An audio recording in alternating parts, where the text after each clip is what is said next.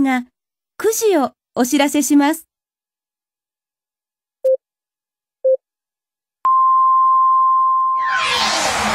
All together now. All together now. All together now. All together now. All Together Now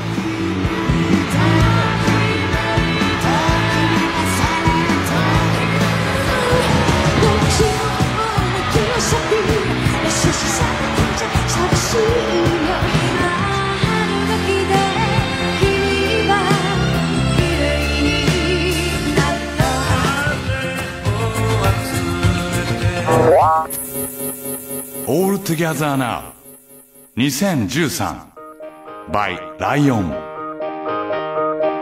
ラジオと音楽。それはいつの時代もとても仲のいい友達です。ラジオから流れる音楽で楽しくなり、勇気づけられ、時には涙も流す。まるで友達なんでございます。民放ラジオ100曲特別番組 All Together Now 2013 by ライオン。どうも、星野源です。1985年6月15日東京国立競技場で開かれた伝説の野外フェスティバル All Together Now これを聞いてる皆さんはご存知でしょうか？僕はもう全く知りませんでした。でもあの今回の番組を機にあのいろいろ教えていただいたり音源を聞かせていただいたりしてあのあよくよく考えたら知ってたみたいな。あのあのイベントかみたいな、えーもしかしたら、え音源を聞くにつれあれあれか？あの時のあれか？みたいな思い出す方もいると思いますが、えーこれは当時の民放ラジオ局とビッグアーティストたちが力を合わせて制作した一大音楽イベントでした。あれから28年。ね。今年2013年になんとその秘蔵ライブ音源が発掘されたそうでございます。85年といえば僕まだ4歳でですね幼稚園入るか入らないかぐらいで、えー、バカ丸出しの頃ですね。あの幼稚園でおばき温度をかけてくれって教頭先生にねだってあの校庭でガン踊りをしして怒られたという思い出がありますが、えーそんな時 時を同じくして国立競技場では当時ねもう第一線で活躍していた総勢25組100名の豪華ミュージシャンたちとラジオマンがタッグを組んだ壮大なイベントが開催されていたんです。えー6万人もね、お客さんが集まったそうで、えー素晴らしいステージが繰り広げられたと聞いてます。えー今日はね、その貴重なライブ音源を、せっかく掘り出されたので、ラジオの前の皆さんと一緒に僕も楽しみたいと思います。そして、ラジオと音楽の魅力も改めて考えていこうと思います。番組には当時のイベントに参加した吉田拓郎さん、佐野元春さんからのコメントや、松任谷由実さんへ、僕、星野源がインタビューした模様もお届けします。これからおよそ1時間、皆さん、お楽しみください。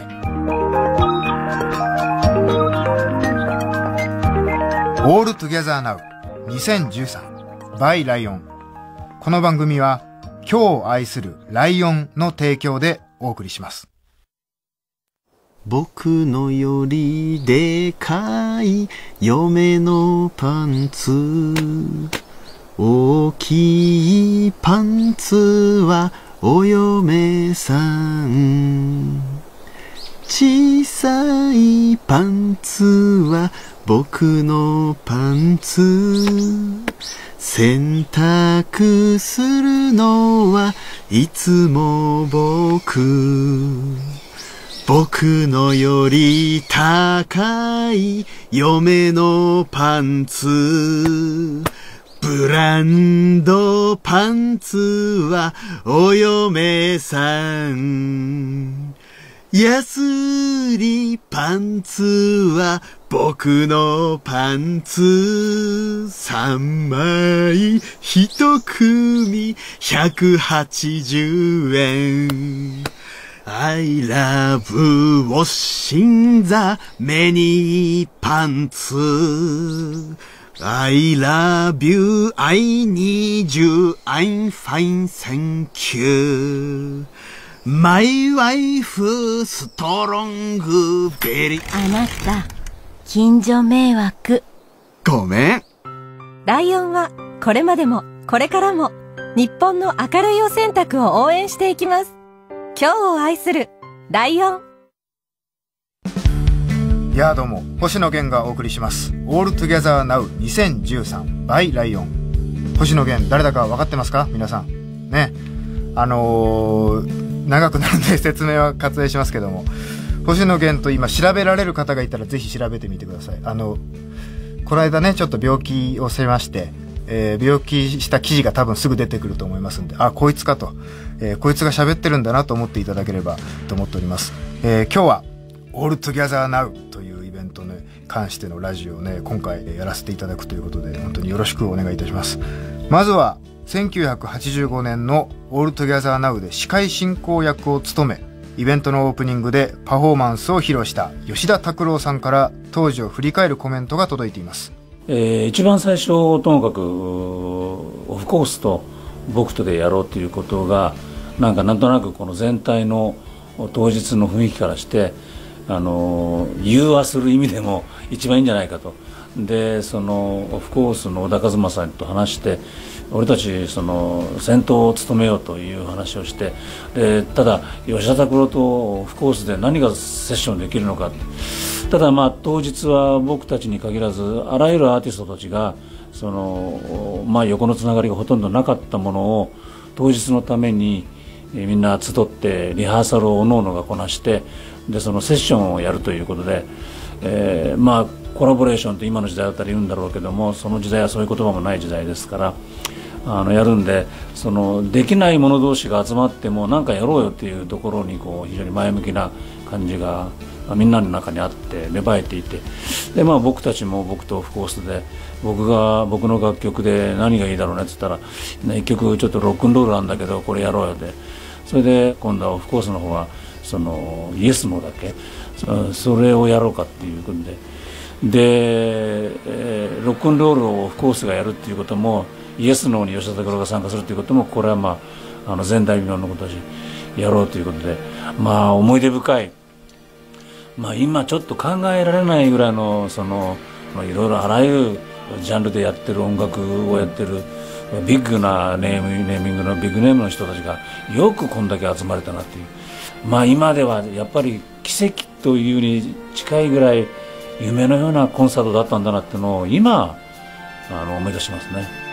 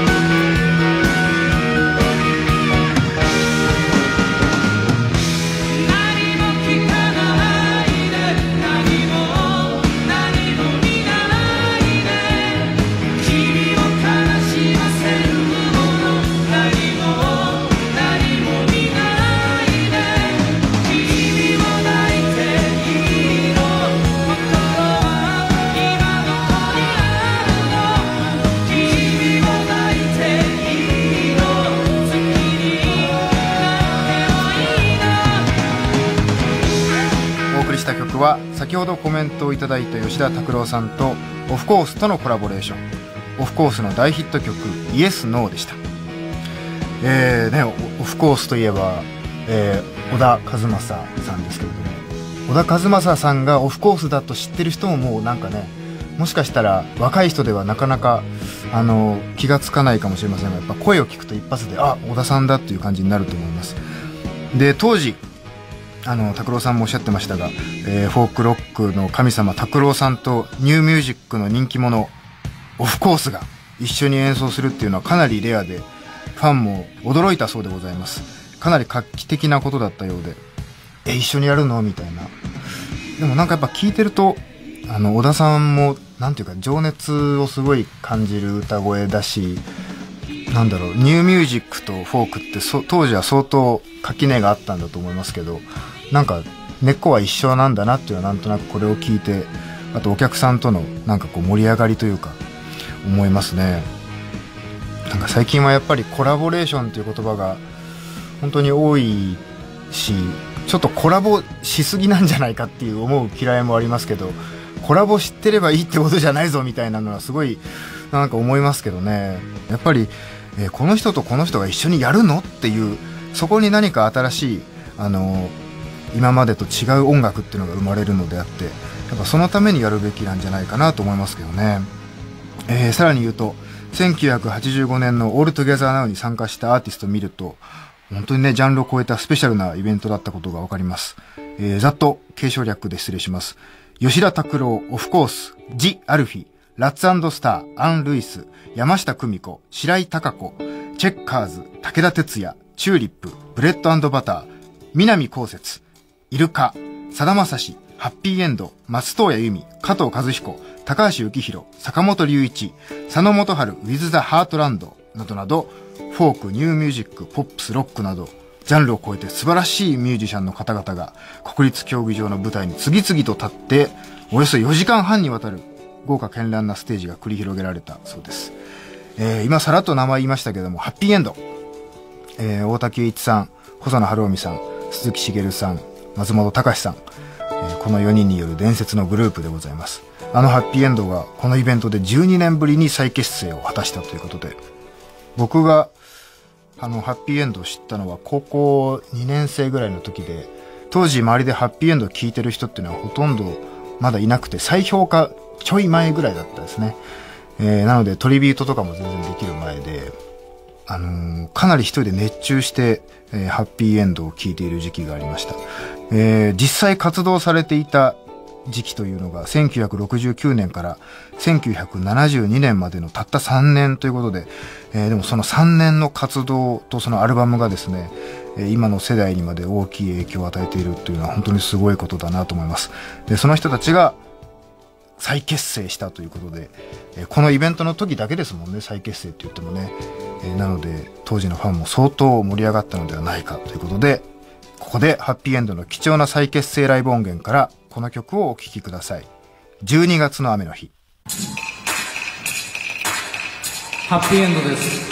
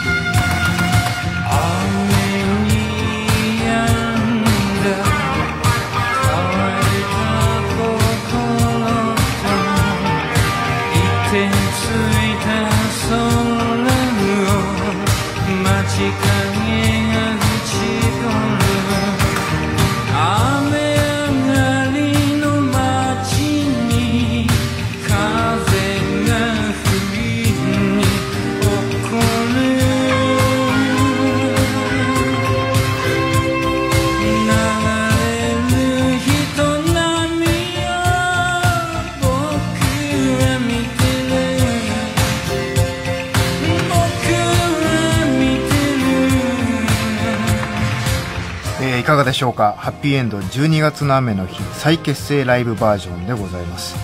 いやーやっぱりなんかなんだろうね。あの YMO5 ということもあって、えーサウンドがちょっとやっぱりその時代のサウンドに、えーかなり、えー合わせている感じがありますがやっぱりちょっとねあの4人がこの場にいると思うとちょっと興奮しますね。松本隆さんももう、歌謡曲でバンバン大ヒット曲作詞家として、え出しておいて、えー細野さんもね YMO を経て、えー参回した後ですねこれ。で大滝栄一さんがまたこうやって人前に出るっていう6万人の前に出てるっていうのが奇跡的ですよね。なかなか人前に出ない方というお話を聞いてるんで。でもあの、やっぱり思うのは、この頃の人たち、えーこのね、イベントの出演者の皆様がですね、もちろんこの頃、ネットも何もないですから、海外の情報とか、えー録音の技術とかね、ライブの、あの、音、音響？音響設備とかですね、みんな自分たちで手探りでやっていた、えー時代だと思います。それで海外に行って学んだり、えーそれを日本で持ち帰って日本なりにこう構築し直したり、えーその作業の繰り返しの中で、えー今の日本のですね、音楽の基礎みたいなものがどんどんどんどんできていって、その基礎の上に僕たちが今、えー成り立っているんじゃないかなと。だ僕たちが今普通に録音とかライブでやっていることが、この人たちにとってはですね、日々挑戦だったんだと思います。えー、ではここで、1985年のイベント、オールトギャザーナウのチーフプロデューサーを担当したラジオ DJ、亀渕明信さんが当時の思い出を振り返ってくれました。しかもあの場所で。そうなんです亀渕です今僕はね神宮外苑国立競技場の正門にいるんですよはい28年前この場所にいました。6月のあの日です。寒い朝だったんです。あ寒くてよかったなって思いました。どうしてかっていうと寒ければね、えーこの国立競技場の周りのお家の皆さんが窓を閉める。窓を閉めるあ音が聞こえないよなって皆さんのお家に実は一番心配だったのが騒音だったんです。うるさいようるさいよって言われることが一番心配で寒かったら皆さん窓を閉めてくれる。音が伝わらない。いいなこう思いました。はい。でリハーサルも終わって始まりました。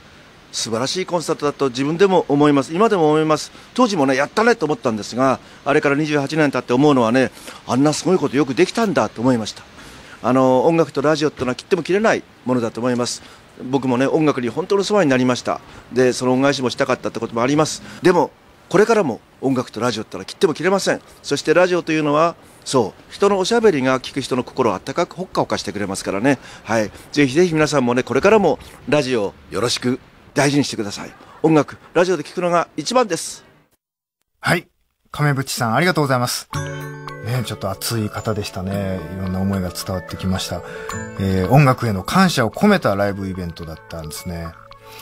全国のラジオ局と一流ミュージシャンがコラボレーションした All Together Now。私、星野源がお送りしております。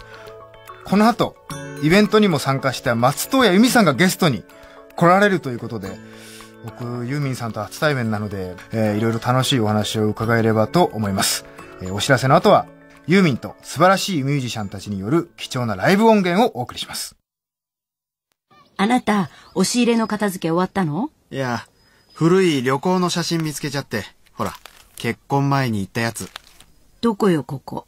津軽海峡、冬景色が綺麗だっただろ南の島の青い珊瑚礁でしょ？私と言ったのは。う。え？思い出がいっぱいあったじゃない。いや、ヤングマンの時のことだからさ。君がいるだけで幸せだって言ったくせに、渚のバルコニーで。そうだっけ？一緒に未来予想図描いたじゃない。忘れたの？うっかりだよ。なら私の星座は覚えてる？お前は、サソリ座の女、だろ？ヤギ座よ。私の好きな花は？赤いスイートピー。白いコスモス。初デートの場所は？港の陽光、横浜、横須賀？ブーブー、神田川、もういいわ。もう一枚写真が。あ、誰？横にいるヤングマン。えーっと、友達の予作。へえ。その予作とも青い珊瑚礁の渚のバルコニーで未来予想図したんだ。してないわよ。悲しくてジェラシーだな。予作にジェラシー。あなた焼き餅なんか焼いて、私たちまだまだラブラブラブね。音楽が私たちの生活の中にあるように、ライオンも様々な製品で毎日の暮らしのそばに寄り添っていきます。今日を愛する、ライオン。All together now. All together now. All together now. All together now. All together now. All together now 2013 by ライオン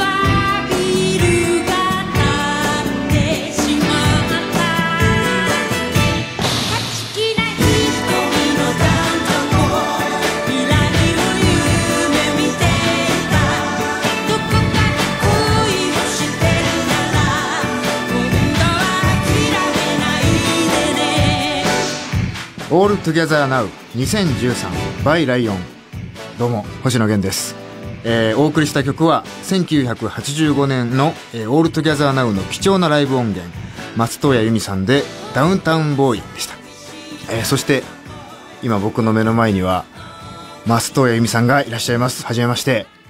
はじめまして。どうも星野源です。今えーっと眉間のところからこうパカって開く形の眼鏡をパカッと開けてくださいました。かっこいいです。いや、すっかり老眼で、あなるほど。こういうラジオの時はね、このフロントホック型ブラみたいなメガネが便利なんですよ。ヘッドフォンでは、そうですね。ちょうど挟まってそう。開けたままも全然こうはい維持してるという。やっぱり特に星野さん初めてお会いするしはい、ちゃんと目を見て話すのにね 眼鏡越しだといろんな時にこう なるほどありがとうご会長です。ご会長ありがとうございます、い、やーあの初めましてお会いできて本当嬉しいです。ありがとうございます、えーあの今日はあの28年前のライブ音源をあの今も聞聞いていただきましたが当時のことを思い出したりしますか？なんかどんな雰囲気だったですか当時はこれあのこの音源で聞いてもうん。派手なシーンでした。うんうんうんさぞかし見てる人はうん。派手だと思っただろうと思いちょっと心躍りますね。うんうん。あの当時ユーミンさんデビューして13年目だったということであ。のいろんな出演者の方いらっしゃいますけど、えっと、同世代って感じだったんですか？それとも先輩っていう感じだったんですか？先輩ではあるんですけれどね、はい。うん先輩じゃない人もいるんですよ。ただ同年代でうん。例えばあの坂本龍一さんなんて、はい。年は1個か2個上なんだけれど、あはい。私の方がその音音楽生活は先あ輩ないるほど。キャリアとしては長くて、はなるほど。で高橋幸宏さんなんかは、えー男子校と女子校で同じ学校だったりとか立教っていうところなんですけどあのもう10代の前半から知ってました、うん。あなるほど。ねとかなね仲のいい人もいたり。はい。はあなるほど。加藤和彦さんはやっぱりサディスティックミカバンドのリーダーだし、うん。年もちょっとあの上ですから、うんうんうんバンマスでした。なるほど。あの細野晴臣さん僕いつもお世話になっていてあの細野さんとはどんな感じのあのご関係というか、はい。なんですか？あのね私は73年、うんあ73の年。デビューアルバムが「飛行機雲」なんですけれど、その時のセッションがうん。キャラメルママというグループで、大好きです。えー松任谷正隆、はいあの主人と、ね。はい。えー細野さん、はい。えー鈴木茂さん、うん。えー林達夫さんドラムはいとい。う、そのセッションだったんですよ。ね。だからデビューの時に本当大変お世話になったというか。僕があの好きな人しかいないですねもうそこには。あのそうですか。なんかミックスフライ的な感じですねもうあ個人的にもうもうみんな好きみたいな。本当。あユーミンさんのこうアルバム初期はほとんどキャラメルママそうです。ですものね、はい。い、やあのねえっ、と日本のポップス自体が、ーうん。まあ、東京の一握りのうん。学生たちから始まってるんですよ、そうですよね。だからみんな知ってるんです。あなるほど。学生時代から。すごい近いところにいた人たち、なるほど。あのそれ以外は、まあ、フォークすごかったですけれど、はいはい。それそれ以外になっちゃうともう歌謡曲なので、ああなるほど。えでそういう、えっと、すごく近い、えーコミュニティというか、い。の中からこういう6万人もの人が集まるようなあステージにこうどんどんどんどん出ていかれるわけじゃないですか。まあ、あの一つのグループが6万人集めたわけではないんですけどね。たくさんの人たちがうん。あの集まったイベントではあったんですけれど、やっぱり何かこうそういう成し遂げるような気持ちというかあのもなんかこうもっともっと盛り上げていくぞ的ななんかそういう気持ちっていうのはあったんですか？いや全くなかった。ああなるほど、えー遊びでしたね。素敵ですねなんかそういう気持ちだからこそそこまでこうあのムーブメントが起こったのかもしれないですね。そうですね。欲がないというか、うん、あの「 All together now」はうん。すごくその、うん、今こう広がっている日本の音楽のひな形みたいなのが全部あったかもしれませんね。いや本当になんていうか今回音源を聞かせてもらって思うのはやっぱり今の音楽のあの成り立ちというかその基礎がやっぱここにこう全部詰まってるんじゃないかなと思ってそれはあの出演者の皆さんのあの録音したものでもそうだしこういうライブの機材とかモニタリングとかも全部この頃きっと試行錯誤をして今の僕たちがなんか何の気なしにこうやれてるようなことがええ。あのこの頃皆さんが本当にこう試行錯誤してたもので、えー成り立ってるんじゃないかなと思っていて。あのミカバンドうん。の、うんまあ、加藤さんが、はい、あのギンガムというねうん、PA 会社を立ち上げて日本で最初に。へだから PA があるんですね。え。なるほど、すげえたまたまそのサディスティックユーミンバンドということで、うん。あの今聞いていただいたので、はい。そういうハードのうん。面でも功労者がねバラバラ混ざってる感じですね。そうですね。じゃあそんな加藤和彦さんもあの含めたサディスティックユーミンバンドからもう一曲ちょっとおお送りしたいんですが「タイムマシンにお願い」はい。あのこの曲について何かこうエピソードというかなぜこの曲をやることになったんですか？あのねデビューの頃に、えーよくミカバンドとはい共演っていうのがあったんですよ。へって言ってもいくつか出るグループのはい。中の私も一人みたいなあの今では考えられない組み合わせですけれどオフコースあなるほど。今回もでも矢沢っていう、えそういう組み合わせもあったりして。で私はすごくミカバンド大好きだったし、うん。はい。ファッションや何かでも、うん。あの影響を受けたというか私もすごい大好きだったから、そのステージではこんな風にしたらいいんだなっていうことをいっぱい見せてもらってましたしね、このイベントのお話があった時にやっぱりそういうことを一緒にやってみたいなと、うん。もう美香さんは抜けた後だったから。ったんですね。ミカバンド自体はもう解散してたんですね。あそうだったんですねじゃあちょっとちょっとしたなんていうか再結成みたいなものだったんですね、ソ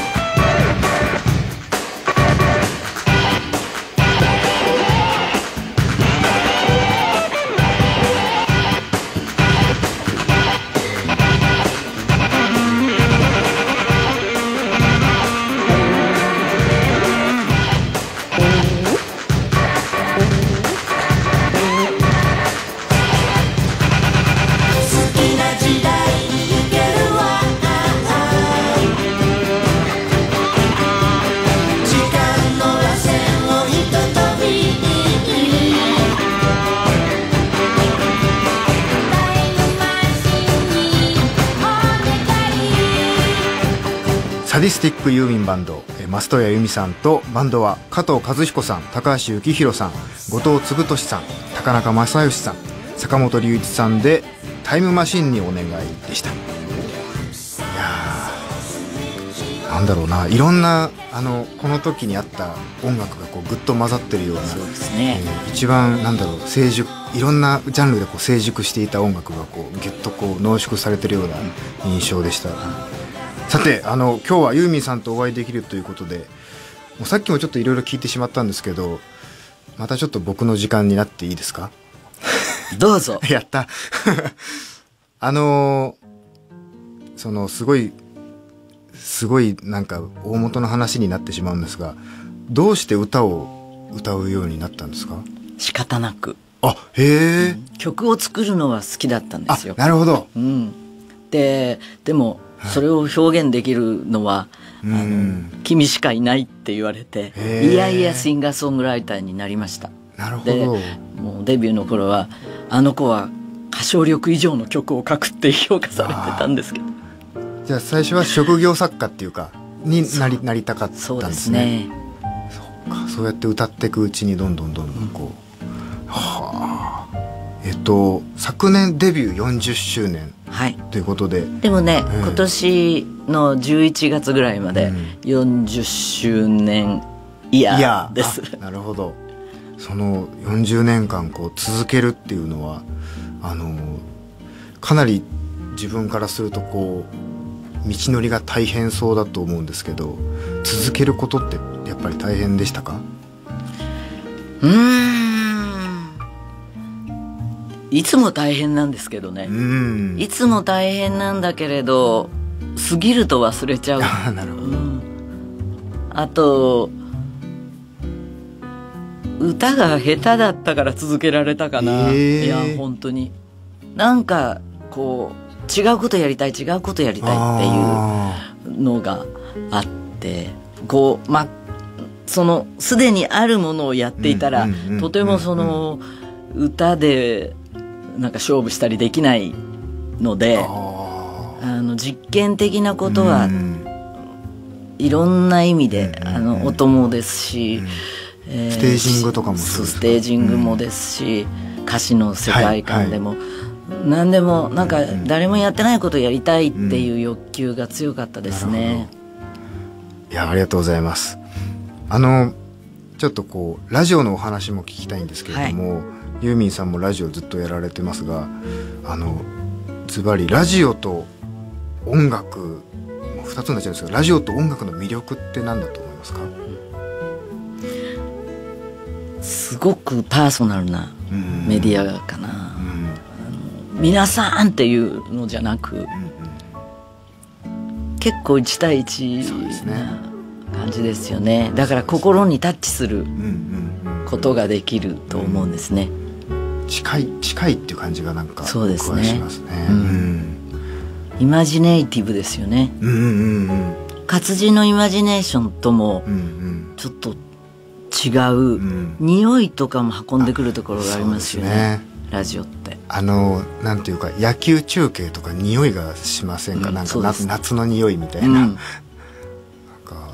すごくだから面白いメディアだと思うんですけどね。私もそう思います、うん。いやーなんかあれなんですよ。まあ個人的な話をすると、僕ずっとうちでジャズがかかってて、でジャズ以外はずっとユーミンさんの曲だったんですよ。あ本当に光栄です、い。やいやだからもうずっとなんか子守歌もそうだったしドライブ行く時も必ずユーミンさんのカセット入れてあのドライブ連れてってもらってて親に私ねあのさっき歌が下手だから、あの曲を一生懸命書いたっていうのは、あのフェイクとかできないしあその普通に棒で歌っててもあの変化があるようなことっていうのをなんか欲求として持ってたから、その不思議なコード進行とか、えーコードにないメロディーを取ったりとか、それでカバーしてたと思うんですよね。で結果なんかあのちゃんとアカデミックな教育を受けてないけど音楽のあの教育は受けてなかったりジャズも理論とかわかんないけれど、結果不思議ななんちゃってジャズみたいなところは多分にあると思います。僕それがその今もずっと曲を作っていて、あのー今すあーなるほどって思ったんですけど僕そのコードにないメロディーが心地よい瞬間っていうのがいっぱいあってでそれがあのいわゆる本当に勉強されてる方からすると間違ってるよって僕言われちゃうんですけどでもこのひ響きが俺好きなんだよなっていうのがあってでそれはそう小さい頃にジャズ聴いてたりとかそれこそユーミンさんを聴いてもうなんか刷り込まれてるっていうか定着した感覚なのかなと思っていてそれはなんかなんだろうな。自分が今曲を作っててもすごく感じることで、あユーミンさんもそうだったんだって今聞いて思いました、まあ、ずっと格闘してますね。あの続けてたら続けてたであの世の中にある自分の外にあるものよりも今までやってきたものがライバル。なるほど。あのあこれ前もこの手癖あったよなっていうところに行かないように行かないように。でもあんまり外れると曲として成立してないようなものになっちゃう。そのこう隙間をねずっと探してるようなところがありますね。いやーなんか今のお話を聞いて僕も本当に頑張ろうと思いました。なんかそういう試行錯誤をずっとやっぱり続けてこられたんだなと思って。だって根本は遊びなんですもんね。でもね遊びそうですよね。遊びなんだけど、なんか正座して遊んでるっていうかそのなんか ものすごい真剣にね。真剣ですよね、もうやめちゃおうってしょっちゅう思いますよ。なんでこんな思いしなきゃなんないんだと思うんだけど、そそのやめちゃったら何も他にできないし、あの音楽やってるからいろんなものが輝いて見えるので、やめたら楽だけど、世界が色を失うっていうの、はい、それはねしょっちゅう思いますね。これからも続けてください。ありがとうございます。いやー本当にありがとうございました。えっとあはい。お互い頑張りましょう。いや頑張ります、えーこの時間はスペシャルゲストに増戸由美さんお迎えしました。本当に素敵な話ありがとうございました。ありがとうございました。私、バブル世代、イェーイ。僕、ゆとり世代、イェーイ。あの頃私、24。僕は今年で24。私の遊び場、ギロッポン。僕の相棒、スマートフォン。毎日ディスコで大騒ぎ。毎日デスクで大いびき。ボディコンまとって朝までドンちゃん。パソコン叩いて朝まで2ちゃん。全身リッチなお姉さん。円周率はおよそ3。男はみんな、アシメシ。上司のお小言完全無視。会社の経費でどんぶり勘定。1円単位で割り勘しましょう。装飾品はごってりつける。装飾系はひっそり生きる。シャンパン開けて千鳥足。アンパンかじって一人飯。路上でチュー。ゲレンデでチュー。業務中、スマホに夢中。とりあえずみんな生注文。僕、カシオレじゃなきゃだもん。花金座金、キンキラ金。年金、税金、低賃金。いけいけどんどん。いえいえ、どうぞ。今日も朝まで踊りたい。できれば定時で帰りたい。時代とともに変わっていく若者たち。どんな時代でも今を一生懸命生きている彼らをライオンはこれからも応援していきます。今日を愛するライオン。星野源がお送りしています「All Together Now 2013 by ライオン」今日のこの番組は1985年国立競技場で開催された民放ラジオ局とビッグアーティストたちがタッグを組んで作った伝説の音楽イベント「All Together Now」の貴重ライブ音源を聞きながら当時参加した吉田拓郎さん松任谷由実さんのお話を聞いてきました。ここでは当時のイベントのトリを飾ったこの方からコメントが届いています佐野太郎です。1985年、自分はニューヨークから帰ってきたばかりですね。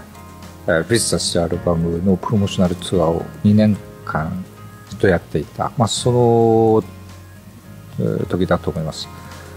えー、まあ、All Together Now というこのイベントは、当時のメインストリームの、アーティストたちが一堂に集まるということで、えー僕も参加するのを楽しみにしていました。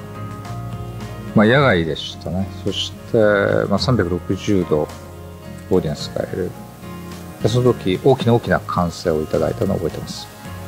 まあ、出演者の中では、最も若い世代に属していましたし、僕とバンドザ・ハートランドですね。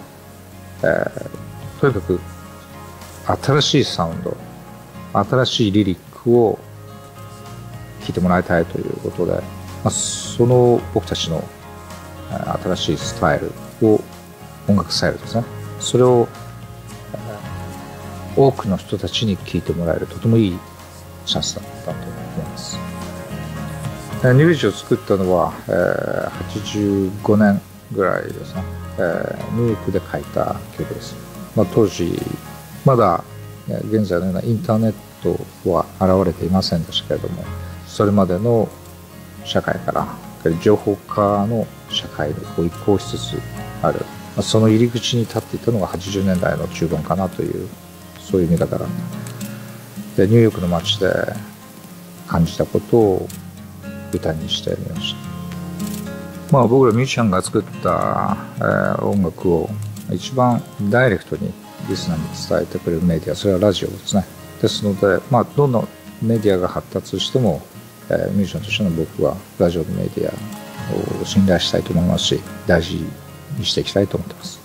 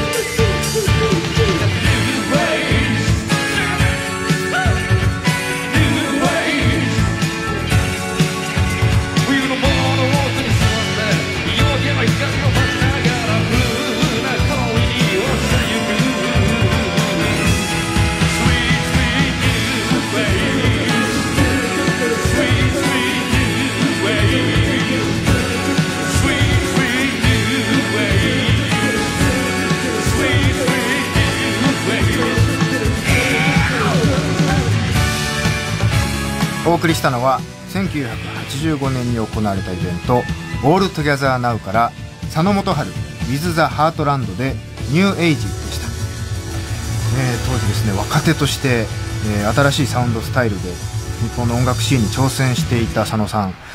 あの今でもやっぱり本当挑戦をやめてないなというか本当に真面目な方で僕前あの佐野さんの、えーテレビの企画で、えー一緒に対談をさせていただいたことがあるんですが本当にねもう気遣いの人というか本当にいろんなことを常に考えながら、えー自分のことを周りのことを考えながらそして、えー音楽のこと詩のことものすごくよく考えていてそれにこう果敢に真面目に挑戦されているという、えーそんな印象を受けました。なんていうんですかね。やっぱ本当にもうさっきも言いましたけどこの頃の人たちの情熱みたいなものが、えー今の人たちの音楽の元になっているなと思いますね。やっぱり佐野元春さんが開発した、え音楽の技術というのもありますし、え詩のはめ込み方みたいなものもいろんな音楽に影響を与えているので無意識に僕たちは使っていると思いますがやっぱこう改めてこう聞くとね、えーいろんなことがこの番組というかこの「オールトギャザーナウをきっかけに、えーわかるのではないかなと、思います僕のお父さんいつもさ、うん。歯磨けってうるさいんだよね。僕のお父さんもだよ。歯磨かないと強い子になれないぞって。言うよね。昨日さ、金太郎のご本読んでもらったのね。うん。こんな強い子になりなさいってさ。言いそうだね。おかしいよね。何が？金太郎のご本にさ、歯磨きの場面ないんだよ。ないね。金太郎、歯磨いてないよね。磨いてないね。相撲ばっか取ってさ。うん。熊に勝てるわけないよね。勝てないよ。まさかりで脅したんだよ。きっと。そうなの？ヨガ読んだら、銃刀法違反だよ。何それ？幼稚園もサボってさ。ずるいね。歯も磨かないで。ダメだね。大人は矛盾してるよ。矛盾って何？おませな子から素直な子までライオンはこれまでもこれからも子供たちのお口の健康を見つめていきますさあみんな歯を磨こう桃太郎も磨いてないよ。浦島太郎も磨いてないよ。じゃあ虫歯だったかもよ今日を愛するライオン。民放ラジオ100曲。特別番組「 All together now 2013 by ライオン」星野源がお送りしてきましたがあっという間にエンディングです、えーこの「 All together now、えーいろんな音源を聞かせていただいてきましたが皆さんいかがだったでしょうか、えーやっぱり僕はその当時の熱気というか、今はなかなかもうコラボレーションとかこういうイベントとかフェスティバルみたいなものがものすごくポピュラーなものになったので大元にこういう熱気があったんだなというのを感じれてとても面白かったです、えー今はやっぱりコラボレーションも、えーフェスもちょっともう多すぎるんじゃないかっていうぐらいありますけどねあとその僕も何度かフェスなどに出させていただいて結構ね僕があんまり僕のような音楽をやってる人もなかなか周りにいなくていつもアウェイみたいな状況でやってたんですけどそういうとこでねなんかまとまりのないイベントだなみたいなことを言う人もいてね。でもさやっぱりさまとまりがないから面白いんじゃないの？そのまとまりがなくていろんな種類の音楽をやってる人たちが一緒にやるから面白いんであってだからこういうイベントがですねこの頃にあったから、えー今は、えーいろんなイベントがね各地で行われているということで、この当時のなんていうんですかね画期的な気持ちみたいなのをこれをきっかけにまたちょっと、えー再認識して、えーこれからのなんかねコラボレーションをする時や、えーいろんなイベントをやる時にいろんな人がちょっとなんかこう気にかけて何か新しいことをしようと。これからはなんか今からはなんか面白いことしようぜみたいなそういう気持ちで、えー何かに取り組めたらいいんじゃないかなと思います、えーそしてこれがやっぱりラジオ局との、えイベントだというのがすごく面白いなと思います、当時はそのやっぱりインターネットもなかったので、えーラジオという媒体がとても貴重で、えー楽しいものだったと思います、えー僕はずっとラジオに、あのー助けられて生きてきたので、えー今でも本当に大好きな、えーメディアなんですがラジオで曲を聴くとちょっと違って聞こえますしね。僕は偶然っていうのがあるのが一番いいと思います。ラジオを聴いてると、えー普段は聞けないようなものが聞けたり普段は知らない人と出会えたり、えーするものがラジオなんではないかなと思います、えー自分で選択するだけではなくてと突然偶然出会う音楽というのも、えーぜひ大事に思っていただければと思っております。では今日の番組のラストは僕星野源からもう一曲リクエストさせていただきます。1985年の「オールトギャザーナウで再結成したハッピーエンドで「さよならアメリカさよなら日本」を聞いてお別れしましょう。それでは星野源でした「